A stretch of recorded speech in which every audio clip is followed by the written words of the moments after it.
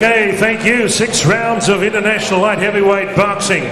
Would you introduce, we introduce to you in the red corner, from New Caledonia via his native country of France. He's fought in Ireland, Algeria, England, New Caledonia, in Australia. Fought Blake Caparello here a couple of months ago. 15 years in professional boxing. Tipping the scales at 79.10 kilograms. 30 fights, 21 wins, 1 draw, 8 losses. His coach, Reg Lecker, in the corner. Would you welcome, ladies and gentlemen, from the South Pacific, Affif Belghecham, wearing sea blue trunks. And across the ring in the blue corner from Slacks Creek, Queensland, suburb of City of Logan, holder WBA Oceania Light Heavyweight Championship. 16 fights, 15 wins, 1 loss, 10 by knockout. Coach Chris McCullum, this young man at 78.95 kilograms, white and scarlet trunks. Would you welcome to Melbourne, Trent Broadhurst. Referee Tony Moretta, judges Andrew Campbell, Alan McCall, Samantha Bullner. Here we go, six rounds of international light heavyweight boxing. Go, go.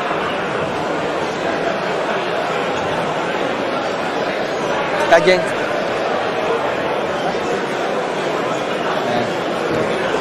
Okay, boys, just defend yourselves at all times and obey my instructions at all times. Okay, touch gloves. Okay, good, good, good. So, Tony Moretta, the man in charge, all set, all set.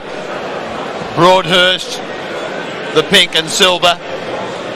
I spoke to Angelo DiCarlo during the week, and he says any heavyweight, light heavyweight in Australia, bring them anywhere, anytime. Of course, that one shocking loss at the hands of the New Zealander, the butcher, Rob Berridge. This is round number one, and he's facing young man, well, 41 years of age, the experience of Affif Belghecham, New Caledonia, via his native of France. Sam Greco in commentary with me, the K1 legend, super heavyweight legend, and now of stage and screen. This is bout number two at light heavyweight. It's great to see both fighters filling each other out. Trent just using that measuring stick off that jab. Just trying to look for it, doesn't want to stand in front. Broadhurst, without any disrespect, most notably Mundine and Geale haven't had to fly in top-notch overseas sparring partner. I, I, was talking to Trent and I said, how many rounds? He said, I think I've done 100 with Choc and I've done 100 with, with Geely. And there was some sting in the punch. There's two Trent Broadhurst talking to uh, Chrissy McCallum earlier this evening. And this one looks like he's really switched on. He definitely is switched on. His timing's impeccable here. He's such a technician, Trent Broadhurst. Absolutely. He picks his time. His timing is absolutely impeccable. Have a look at him tonight. Good body shots there. Landing left and right. Round one action. Fight out of it. Come on, fight out of it. Fight! Just if, watch the head. Watch the head.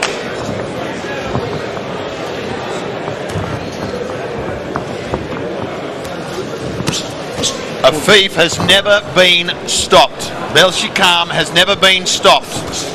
Ooh, a low, a low punch from Broadhurst. Referee fine with it. Tony Moretta again low underneath that left, underneath that left elbow. Not a criticism, but it did seem a little low. No, it was low, and you were right. It was a, it was a good call there, Mark. Would not have tickled. then I think Ricky Hatton once said it's not a tickling contest. Round one action from the Melbourne Pavilion. I've got to say it again without harping on it. My goodness, Brian Amatruda, what a venue. Brian Amatruda does it again. What a great venue. And what a great night of boxing here. Both boys slugging it out here. Tressy so composed. Leading off a jab. Never been stopped and been in with three world champions, Belghecham, including Andy Lee, Darren Barker, who we know all about, and Hassan N'Dam. Drop of a mouth guard there. Referee the mouth guard. Well, your experience is, was it a... Okay, it's Trent.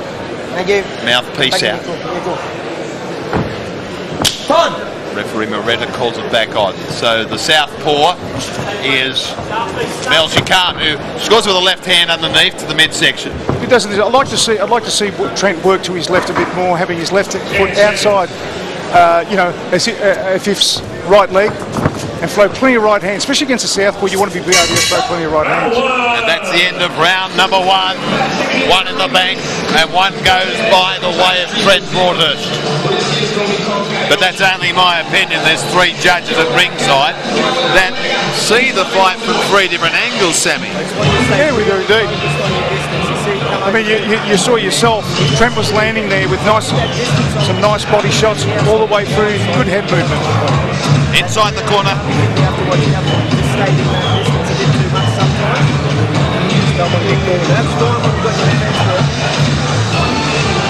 I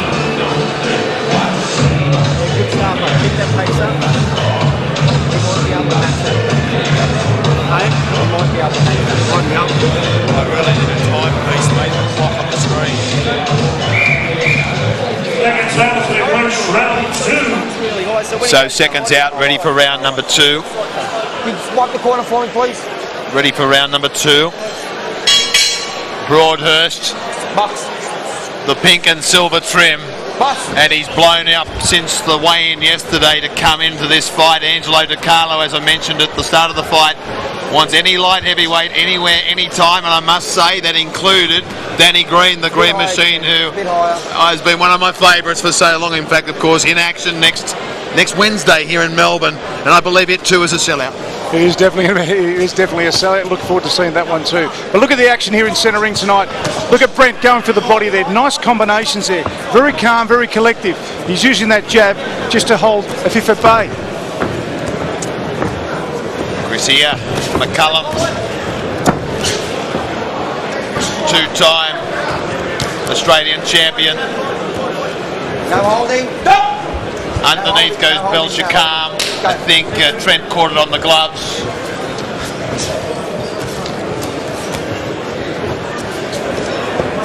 He's getting sized up. He's getting measured up, is he perhaps? Some people, some good judges at ringside, not sa- saying that this won't go past three. No knockdown. I can get up. And we've told you already, Okay. Belghecham never been stopped, even at 41 years of age. Go. I won't say the sunset of his career. I think I just did. right hand down the middle from Broadhurst. Underneath, left hook over the top. Nice straight hand. Maybe calling him, and you're calling me exactly as I said before. Tr- Trent is just landing nice and clean.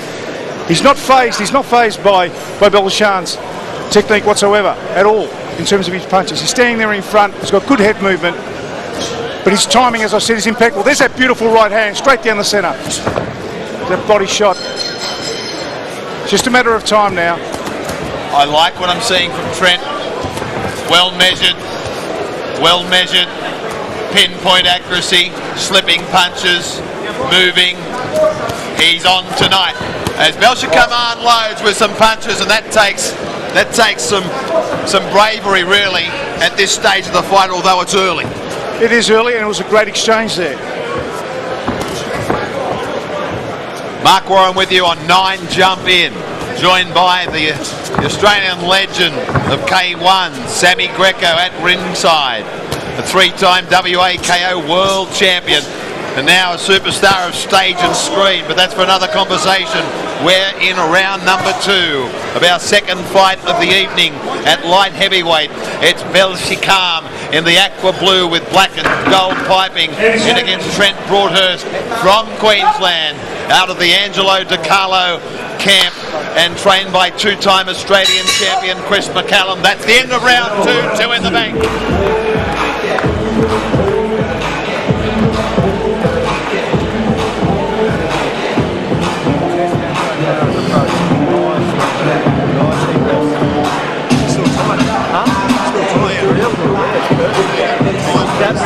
The first, you picked the times as you go. The first round you were a little bit more reckless, but you weren't, you got caught those couple of left hands you weren't starting to get the outside. Now, when you follow him up and you back him up, then Trent will go under or draw around. Now a second phase shot. So after you do your As we first see the replay here, Trent lining him up, leading off with that jab, and there's that straight right hand we were talking about, landing it straight on his nose. Highlights with Sammy Greco. And there's the body shots we we're talking about with, with a barrage of body shots left and right, going a bit wide, but effective. Scheduled for six. No, I won't go too early. To round three action.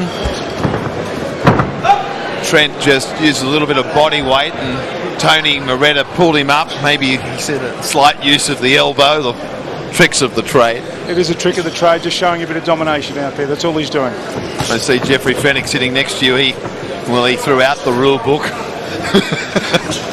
Created his own. exactly. Created a, a legend. What a story it was. Trent's got a great game plan here. He keeps backing a fifth straight back in the corner, working the body, slipping. And now he's in danger because Broadhurst, I said before, mentioned that he's sizing him up and he's working him back towards the neutral corner. Now Trent throws a, left hand over the top. No, I've got to admire Belghecham. Still bringing the fight forward, giving away height and reach. Khan is definitely a workhorse, as you've seen tonight. He's taken a barrage of punishment, but he's still there, standing there in front and just giving it everything he's got. There he is again. He's back up against the ropes, still punching away. He's no slouch. 30 professional fights with 21 victories. He's done it at the world world class level. Eight losses, one draw. Just five KOs, not blessed with a lot of power. So says the CV. It does indeed. Look, he has got a great knockout record, but hey, he's a workhorse.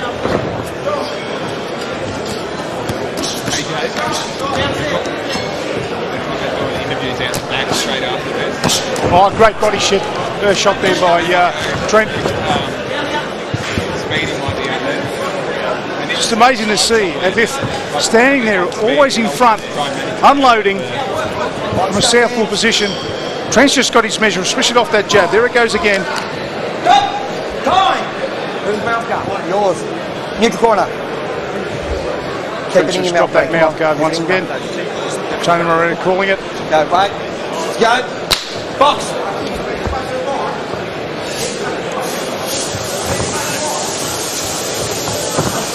Round three action. Nice right hand there by Trent. Landing. There is another one. Landing on the landing square on the nose of a I thought they might have gone a little bit over the top. Taken on the gloves just a little bit, taken the edge off the punch perhaps. Yeah, Trent seems to find that opening, and if he's not an opening, he tends to create it. And again, Belghecham fires back shots under attack. In fact, under and over, misses with the right hand. He'd like to be very careful there. Indeed, look, It's got left hook written all over it. Belashan's not the most technical fighter. He's here, but he's here for a good fight, and he's going to make it as awkward as possible for Trent tonight. Broadhurst swinging low, swinging underneath, left to the rib cage, and Belghecham comes back. Wow! It's courage. He's losing the fight, but it's courage personified. Back goes the head to signal the end of round number three. Great round, great round for both fighters there.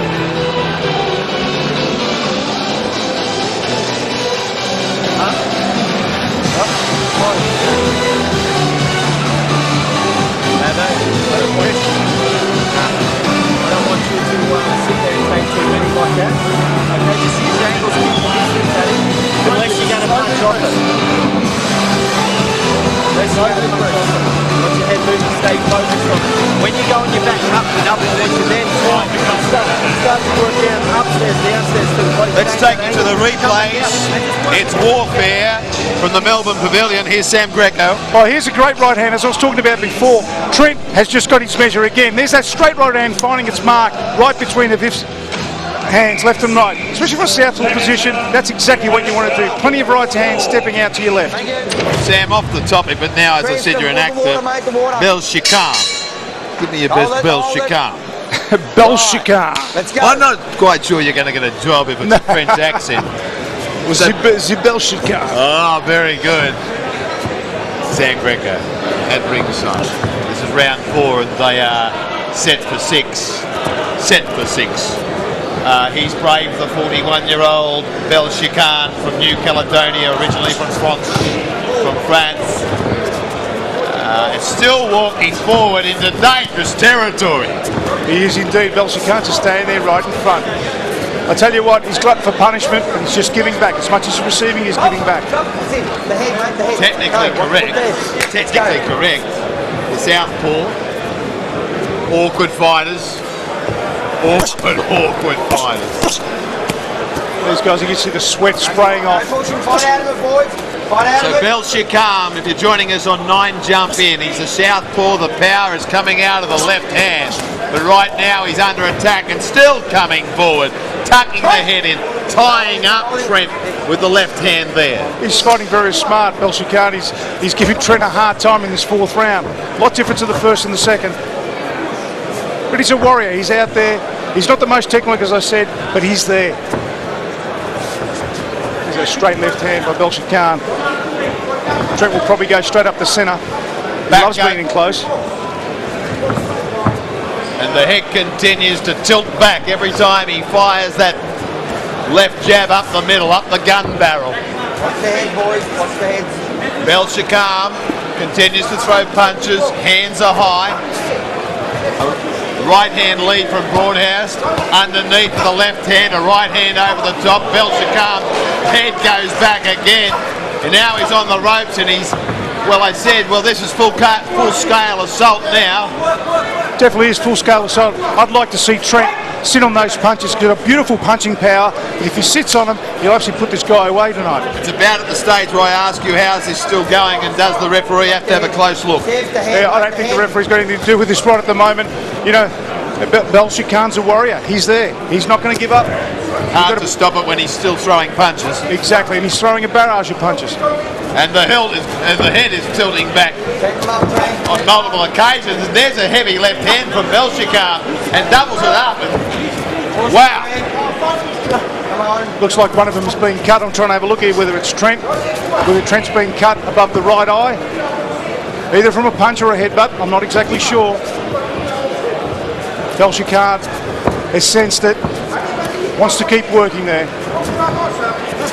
So Trent getting some rounds here, but you know, this is a dangerous fighter. This is a dangerous fire under full scale assault. Yeah, Belghecham shouldn't be est- shouldn't be underestimated here. What a great round! Absolute great round from both guys. End of round number four.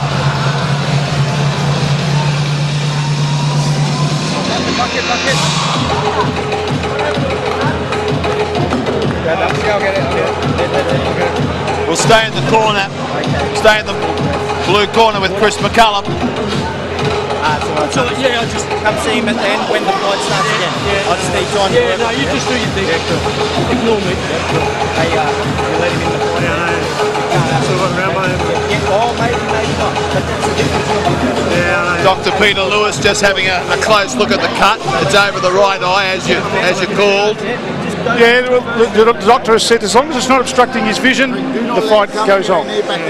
Replay action with Sam Greco. There's that lead off with Trent. Oh, beautiful. There's that beautiful right hand counter that we've been talking to Belchian. Gives back. The Footy Show Fight Night presents an evening with Team Fenech, Brian Amatruda and Big Time Boxing. They touch them up and this is round number five and Belghecham, yeah well, he continues to absorb punishment and march forward. I can't emphasise it it. enough. No holding. Okay, no holding. Let's go. Belghecham seems to step forward more and more as the rounds go on. His work rate's increasing. If you're just joining us on Nine Jump In, the Frenchman Great angle work there by Trent. has been in with three world champions, no less. Andy Lee, Darren Barker, who of course Greeley knows all about, and Hassan N. Dam.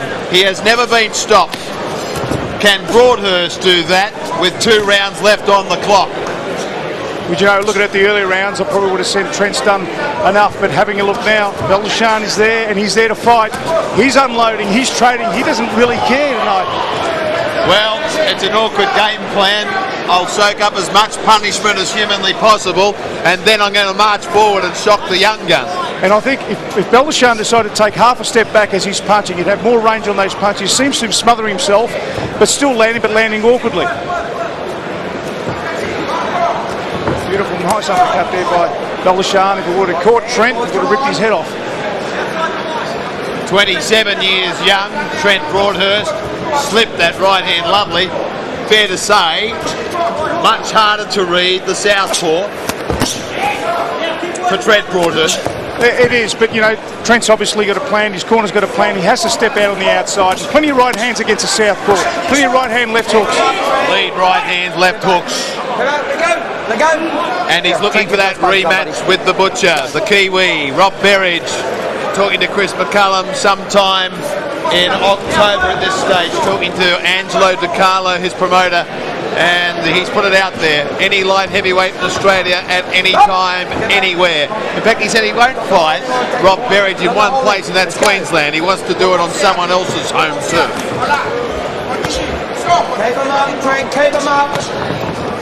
Tony Moretta calling, calling on Trent to keep those body shots higher. Bit of a low blow.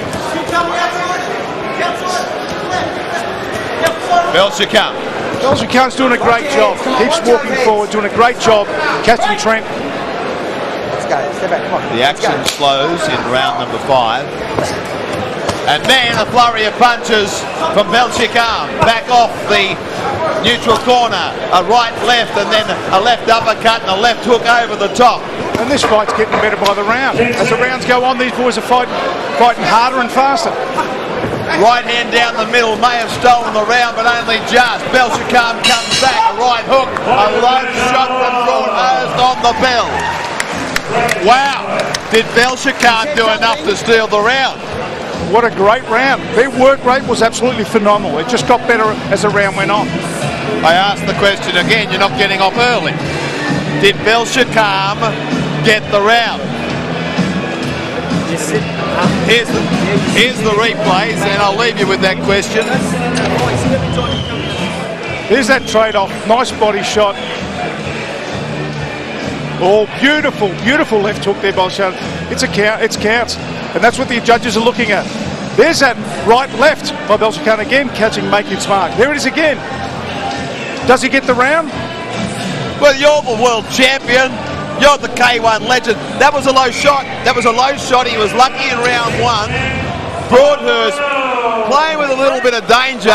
It's probably the only way he gets stopped. He'd have to be stopped, but he's been very lucky with a couple of low blows. Let's go, Semi. Sixth and final round, light heavyweight contest. Belghecham, New Caledonia, originally from France with Trent Broadhurst, the Queenslander. Sixth and final round.